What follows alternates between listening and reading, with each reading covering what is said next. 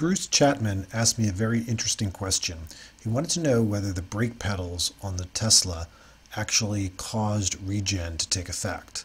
We all know that when we let go of the power pedal, the regen kicks in immediately, but when you then go press your foot on the brake pedal, will it uh, cause additional regen to slow the car down and generate power?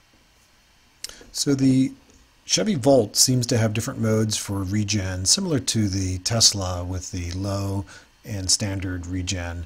However, the brake pedal on the Volt, Bruce explains, actually does additional regen to slow the car down and generate power. And then they even have a paddle, he said, on the left-hand side of the steering wheel that can even uh, give you additional uh, regen and braking, uh, all to uh, lessen the use of the brake pads.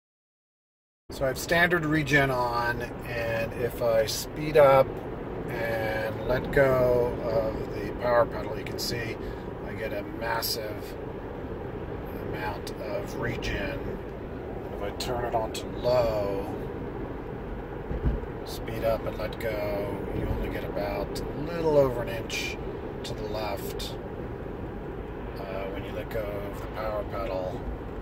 And do it again, and then press the brake, you don't get more uh, regen. So that sort of shows that the um, brake pedal does not, confirms the brake pedal does not give you additional regen in uh, low mode. But in low mode, under autopilot, we did see more regen than I can get manually here just by letting go of the power pedal. So I just turned on uh, low regen braking, and I'm curious whether uh, autopilot or nav on autopilot um, regens in full when it needs to in a, uh, a hard braking situation. Because um, when you're manually driving in low regen, the uh, green line there, which shows the regen, uh, does not go more than about an inch to the left. So I'm just uh, in a traffic jam here. Hopefully we'll come to an abrupt stop at some point, which will cause it to regen a lot. Um, let's see. I'll just watch it.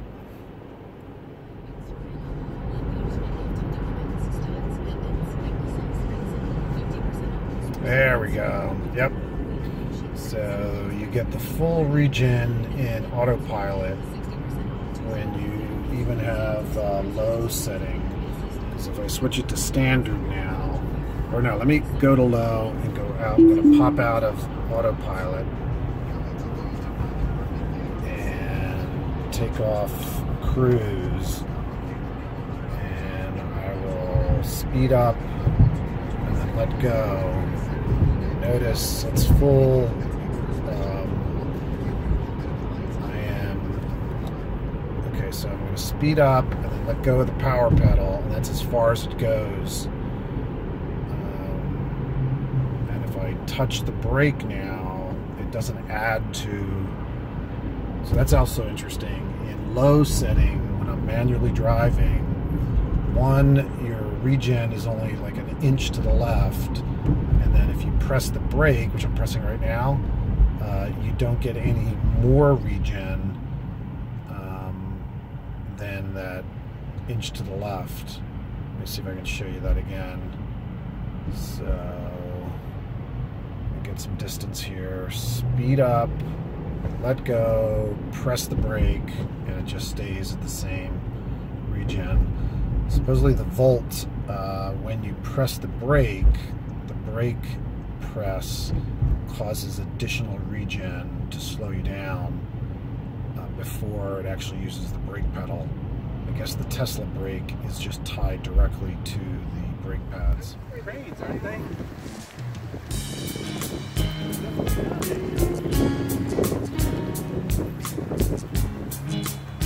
So go on my YouTube channel.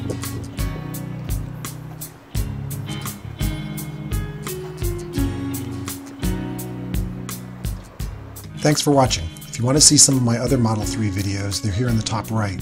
I just created a new channel, Nick's Pickleball Life, for my pickleball adventures. The name's weird, but the game is great, and you can find games virtually everywhere. If you want six months of free supercharging, please use my referral code listed on the bottom left.